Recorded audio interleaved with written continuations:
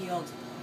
I think your films touch on this, the, the fact that sex is a spiritual act and that intimacy and sex are mysteriously and brilliantly connected.